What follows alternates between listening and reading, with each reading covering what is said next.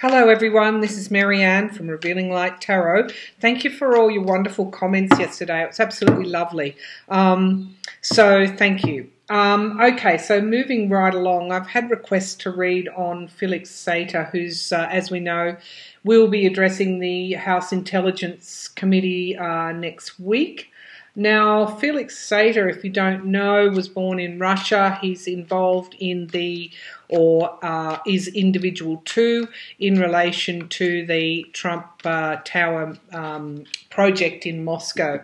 So Cohen had a bit to say about Felix Sater, including that uh, Trump's, um, I think, potentially lying on his deposition in 2013 that he didn't know Sater. Sater, of course, joined Bayrock uh, and had a um, suite in Trump Tower uh, and has uh, really been negotiating, involved uh, between uh, the Trump organization and Russia. Uh, in 2005, also tried to get a Trump Tower there as well, or a skyscraper of some description. Um, has allegedly has connections with the Kremlin.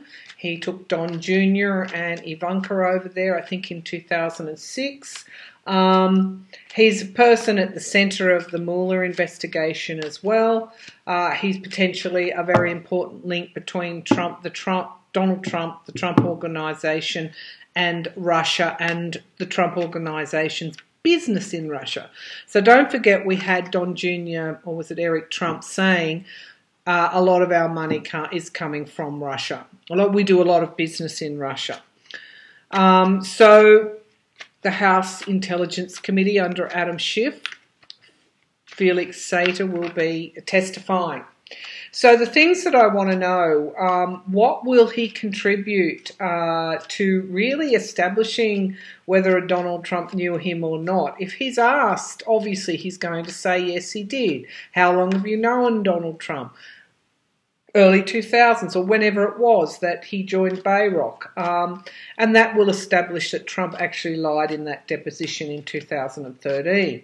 So, is that something he's going to bring forward? What other new information is he going to bring forward around that Trump Tower uh, in Moscow, negotiations?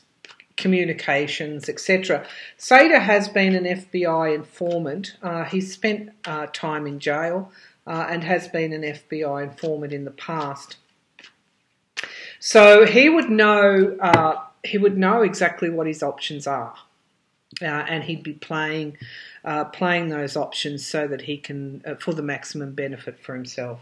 So let's have a look. Let's draw some cards and see um, what Felix Sater will bring to the table during that congressional hearing. What are the general? What's he likely to bring forward? What sort of information is he likely to bring forward? Felix Sater, House uh, uh, House Intelligence Committee, congressional hearing. What information? What type of information? What information is Felix Sater likely to bring forward on Donald Trump, the Trump organisation, and dealings with Russia? So I'm getting that uh, because of his ties to the Kremlin. Um, he will hold, he will hold back as much as he can. We don't know who's gotten to him beforehand. It would have been likely that uh, someone has. However, he's in the same position as Cohen. He's uh, a central figure. While we know he hasn't broken the law at this point, um, he probably has less to uh, uh less to lose than Cohen. So he may very well hold things back. But let's have a look. So we've got the King of Cups here. Um, so who was supporting who? Okay, somebody was supporting somebody else. Now I'm using my Gilded Tarot deck by Ciro Marchetti, for those that are wondering. Endings, rock bottom endings is what's challenging him. So he has information to bring forward on potentially who was supporting who uh, and why but he will be challenged by endings. Why have they gotten to him? That was my feeling. When I say gotten to him, he's potentially part of all that uh, part of all that network. So it would be just communicating, getting his story straight, etc. Potentially. but that is his challenge. He's afraid. So anything that he, he discloses, he's afraid will be his own painful ending. The foundation of this uh, reading is the Queen of Wands, and that uh, to me is the Congress. So even though he will try and hold things back, what he has to remember is that uh, the congressional power, uh, they these are lawmakers, um, and he will be bound by the power of the Congress. Um, and they, to me, they're going to go after the hidden stuff. I think that's why they want him to appear. They will be doing a lot of digging around Trump's business connections with Moscow. Now, some of this I alluded to when I introduced this video. I think they're going to go there. Uh, and in the past, we've got the government here. We've got we've got Congress. So this is telling me straight away Congress is quite powerful. Now, again, we saw in the reading yesterday this oversight um, that the House is actually bringing forward. It's quite substantial after this reading, I want to get on to um, an article by uh, that, which quoted uh, Trump's former lawyer. Is it Ty Cobb? Uh, I want to get on to that. Now, we asked what information he would be bringing forward. We've got the betrayal card here. This is the thief in the night, the seven of swords, stealing into uh, into this building. Uh, no one's looking, taking a number of swords, leaving some uh, some there, but generally making off with uh, with things. This is generally done in secret. So, what's hanging over all of this? Who supported who is the central question he's potentially going to try and hold things back because he is afraid. Uh, um, however, Congress is going to, to me, is going to go in there quite hard. Congress, Congress's powers right through this reading, so he's going to be forced into. Um, revealing what he knows around potential uh, deals uh, that have been made in a clandestine fashion. Hence, we've got the Seven of Swords. Yep, it's all about the Trump organization's uh, business with Russia prior to 2016. And this is where SATER is so valuable for Congress because he goes back so far and he has direct information to bring in relation to the real estate deals. So, this is where I think Schiff is going to go to. He's going to go to the real estate um, links between Russia and the Trump organization real estate. That's what they. That's what I think where they're going to focus. now the the um, the situation at the moment is the Democrats are on a I would say a winning streak. This is the card of celebrations. It's like the midterms happened and the Democrats took that to control of the House. They were able to uh, to bring in that oversight, and people are happy about that. That's what they wanted. That's why they voted them in. This oversight of Donald Trump after two years of um, no oversight at all, uh, we're now getting this, and and that is making that's a relief for people. We don't have to worry so much about whether Barr will get to Mueller, Mueller will withhold certain things. All of those questions that we've been reading upon, which of course. If you go back through our readings, shows that the Mueller report is pivotal in what in what happens. So there's not going to be a. I don't think there's going to be a holding back. Um, uh, so what we've got now are these ongoing investigations, um, and Cobb, Tr- Trump's lawyer, is right about one thing. He said that these investigations will go on up to 2020. If Trump is re- elected will go on beyond that. So basically, that midterm victory ensured that these investigations would continue now, uh, if Democrats take uh, take the election in 2020, uh, they will go beyond Donald Trump's and the Trump family's life as they knew it uh, altered when he took when he won the presidency. They didn't know in the first two years. They were quite, you know, naive in a way as to the power of the lawmakers the structures that are in place, the democratic structures, quite naive uh, because they were doing things in those first two years that have generated investigations. Um, on top of what they've been doing in the past. So, uh, coming into DC, all guns blazing, a head full of power. You know, I often liken Trump in those first few years as the mad conductor, uh, you know, absolutely drunk on his power. Uh, of course, that's all ended now. Uh, well, that illusion of power is ended. And of course, we have people quite relieved, quite happy that the oversight is happening. The environment around is uh, is restriction, imposition. It's uh, it's well, this is the card of um, isolation, being isolated. It can sometimes comes forward comes forward as the imprisonment card. So the uh, scenario I was painting prior to the midterms is one view the scenario I'm painting now with the multiple investigations is what's creating an environment of restriction um, for uh, not just Trump, not just the Trump government, uh, not just the GOP, but for the Trump organisation. Who are the Trump organisation? They're Donald Trump and Trump's children.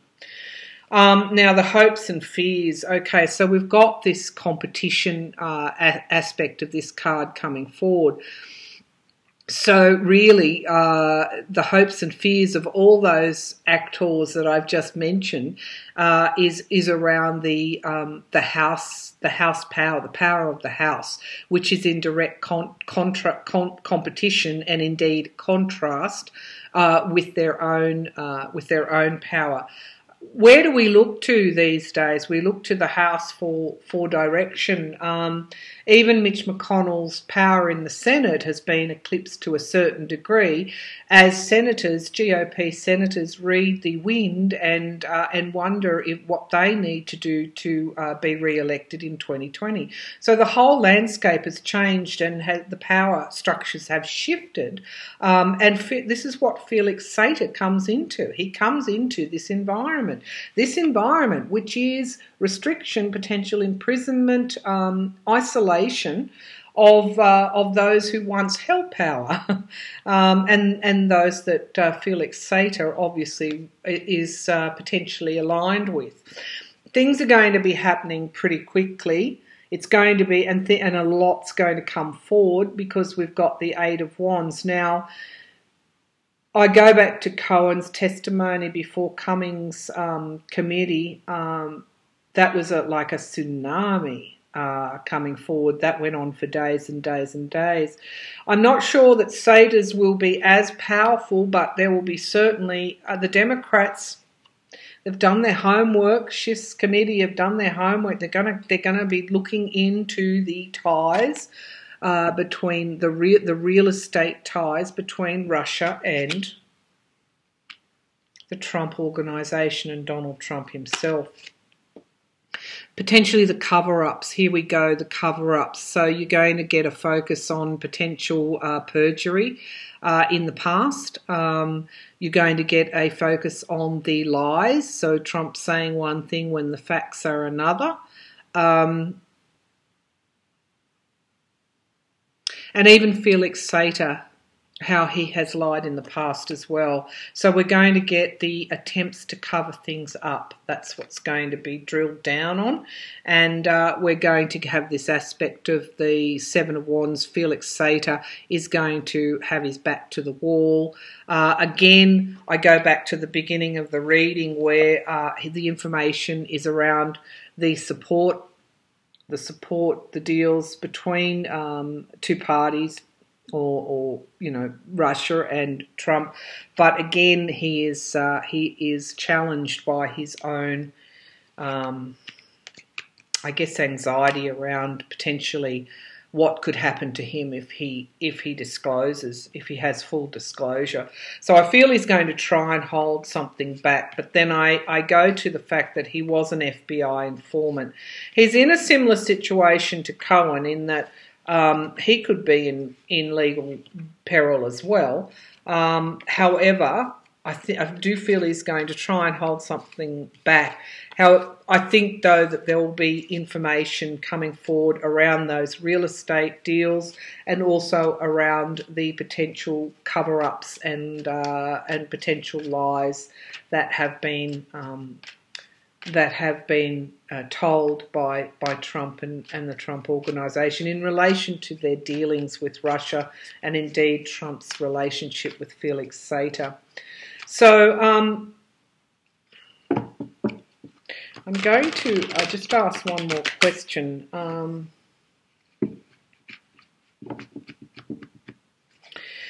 as a result of this, will Donald Trump have to face that perjury charge in relation to lying on his dep- deposition about Felix Slater in 2013?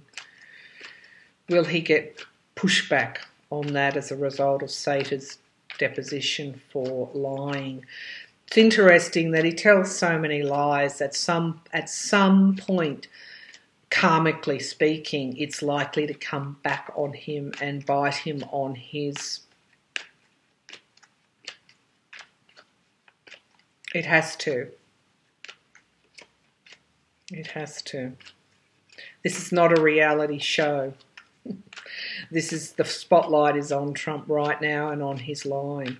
So, will Sater's uh, testimony establish uh, that Trump has lied on multiple occasions, possibly even perjuring himself?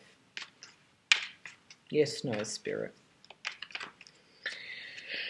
Oh, here we go. King of Cups again. Um, okay, so the deals, the deals that were done, the support that was given, the deals that were done, the lover's card, the deals that were done, the relationships between two people, Trump and Russia, secrets, High Priestess, secrets to be revealed, two major arcana, deals, relationships, secrets to be revealed, lots coming forward, the Eight of Wands around that.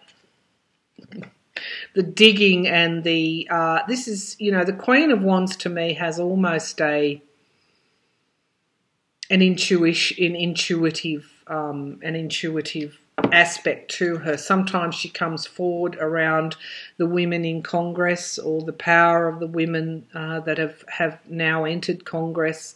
Um, there's going to be some fairly uh, rigorous questions there to establish the relationships between uh, Trump and Russia, Trump Organization and Russia, and how they work together. This is the um, the card of expansion and commerce. It's mirroring the secrets underneath the secrets to be revealed. I'll bring the laptop down because these cards are quite interesting. We have the support here, what support was given. We've got the relationships that uh, may have existed. We've got the secrets here that that uh, uh, you know that have been held back. The covert nature of things that I was referring to. Lots of things coming forward and coming forward quickly, which was the outcome card of the previous reading. We've got the Democrats uh, digging, digging down, drilling down on the commercial, commercial and expansive aspects of the business between uh, the Trump organization and Russia. Now, the illumination card is our last card, and I'm just going to hold that there for a minute. The sun card is comes forward when you're asking a question, a yes and no. So sun card can can uh, you know in all probability uh, mean yes. So this is going to establish the his uh, Felix Sater's testimony will establish the lies that have been told around uh, Trump's not uh, knowing him, the potential business that the Trump organization and Trump had with Russia. This is going to be quite illuminating. Now. Um, I will put a caveat here uh, because, you know, life's not a merrily row, row, row your boat sometimes down the stream, is it? Felix Sater could be a could be could try and hold back information because he fears uh, he fears if he brings things forward, like Cohen did, and we saw what happened to Cohen. Um,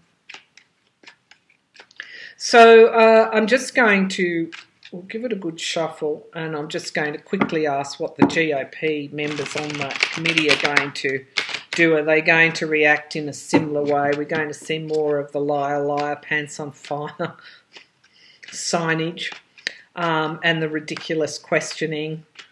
It's like you would expect to come from a, you know, ten-year-old in the playground. Oops. All right. Jordan was a, a wasn't he a gym coach? I don't know Meadows' background. What was he?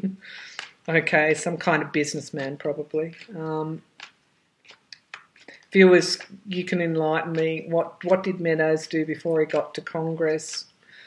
Um, I know that he's now uh, wanted to is he's being exposed. Lots of clips around him um, sending uh, Obama back to Kenya or wherever he was from. Um, I'm just going to just have a look here.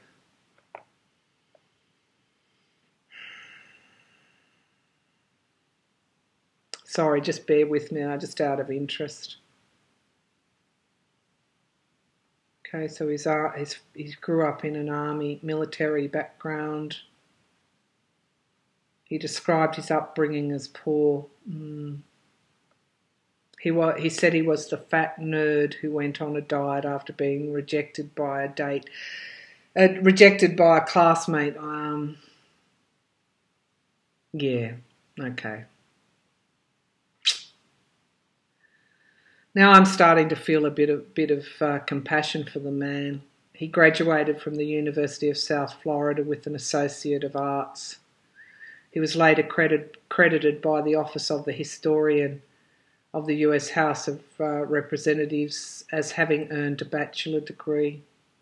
But this was corrected after investigation by the Tampa Bay um, Times and in December 2000 found that it was associate, an associate degree. Um, rightly so. Degrees aren't everything, are they? But I don't see uh, I don't see the experience there that I would have thought. Uh, so there we have Mr. Meadows. Um, who attack who is an attack dog. And of course, uh, is surprised and upset and hurt when the attacks come back on him. So there are lessons there for Mr. Meadows. All right, back back to what we were going to uh, look at. And now I've forgotten my question. Let me just refocus. Ah, yes, the GOP.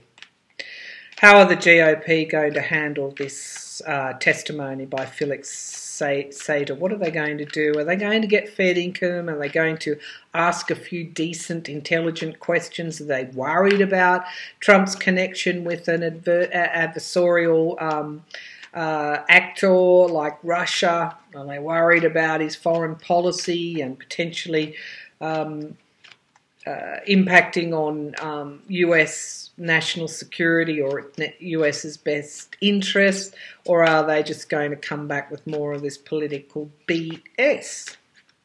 How are they going to react? What are they going to do in the Congress when Felix Sater comes forward with his testimony? Okay, this is what they're feeling. They're feeling left out in the cold, okay? They're not on the inside running anymore, they're on the outer. What happens when people are on the outer?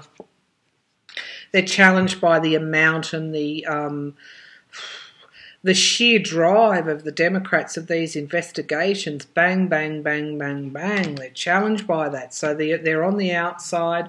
Um, they're uh, hobbled, if you like, uh, by Trump himself, and they are challenged by the amount of uh, things that are coming forward. The foundation of the reading is their financial, it's their security, it's shoring up their power. What does their power mean? I don't know uh, for your politicians, but keeping power in Australia uh, results, it's quite lucrative. When they do retire from Congress, they're uh, paid a $200,000 pension for life. Um, and, but there's also other perks for being in office. I'm assuming that's similar in America. It's called a gravy train. Get on the gravy train. That's the foundation of the reading. This is where Trump's power is at the moment. This is in the past position. It's it's suspended. We know that the hangman has been coming forward in these readings quite a lot. Um, Page of Pentacles, money news. That's what they're worried about. They're worried about the monetary connection between Trump and Russia. And uh, this, came, this angle came forward in one of my recent readings. If Mueller has proof of a monetary connection between Trump and Russia, then the collusion case, conspiracy case becomes amplified isolation. They're going to be isolated. Uh, this is the Hermit card. So they will be talking about mo- money. They will trying to stop any talk around the monetary dealings between Trump Organization and Russia. That's what they'll be trying to stop. They're very much on the um, outer. Again, they'll be trying to protect their their emperor, Trump. However, the environment around them is uh, is potentially why is exactly why they're on the outer endings and beginnings for uh, for Trump, his power dwindling, um, and the GOP um, on the outer here. I was going to say on the nose, uh, and the eyes of the world looking. This is no small matter. What they fear, they fear uh, not being re-elected. They fear being. Uh, that's the Six of Swords, moving on, relocation, transitioning. Um, and the outcome of this card is the Nine of Pentacles, which is interesting. It's around um, financial security, it's around um, self government, uh, it's around indolence in a way. So to me, they, they're going to be, here we go, they'll be juggling. Okay, all right, so this is what, and manipulating. So this is what this reading is saying. It will be more of the same with Cohen. They will be doing this juggling and manipulation. They don't want the information around Trump's financial, Trump organization's financial connections with foreign uh, countries. They don't want that drilled down on. Uh, they are very much on the outer. Their power in that committee is not as strong as obviously if they were leading it. Um, they will be trying again to protect their uh, their president. However, the um, the environment around is endings and beginnings. Uh, they're on the world stage now. This is very, very transparent. And of course, for poor uh, Congressman Meadows, um, you know, they're looking a little bit dim witted. All right, so um, I'm going, and they're very, very much isolated. Uh, isolated on the outer. They're still, energetically speaking, and I'm just going to kick this reading up a notch to a spiritual um, orientation. Energetically speaking, this card is saying they're holding on to the past, they're holding on to um, their idea of power. So they're stuck in that power matrix when uh, you know, I either have it uh, or I don't, and when I don't, uh, I get terribly offended and um, I start to do, I get awfully invested and emotional in this loss of power. That's where the GOP is at the moment. They they feel like they're being kicked to the curb by uh, by the House, uh, and so they're um, they're you know it's almost like a victimhood in a way. Um, instead of stepping forward into their own power. I'll read more extensively on the GOP because I feel on the future of the GOP, will the party still exist in the future? Um, in another reading, but uh, but really, this is where they're at. This is where their energy is at at the moment. It's it's around uh, falling back into that victimhood, um, and of course, lashing out in very petty, silly ways. Uh, they're not really learning the lessons, which means that there could be another big kick for them coming up uh, until they start to um, start to change and, and, and move forward away from Trump. The Trump era is over. The sooner that they uh, start to examine the lessons um, and move forward, the better off for them. Not, and I've said this before. Not every Republican is a bad Republican. Just those. Um, just uh, the way that we see these people in Congress, um, really they're shooting themselves in the foot. Suffice to say, the power structures as we know them uh, in this situation with Felix Slater lie with the Democrats, and they'll be using them uh, during this testimony as they did with the Cohen testimony. So watch out for those um, star performances if that uh, testimony is made public. Uh, it will be interesting viewing again. Two things. Trump's lying and deals uh, real estate uh, connections with uh, Russia. They're, the, they're going to be the focus here, and that Trump Tower project as well. I'm going to leave that there. Hope you enjoyed it. Thank you again for your wonderful support uh, and the lovely comments that came forward yesterday. It was kind of fun that reading for me to do, um, and uh, and I thoroughly enjoyed it. So, all right, thank you.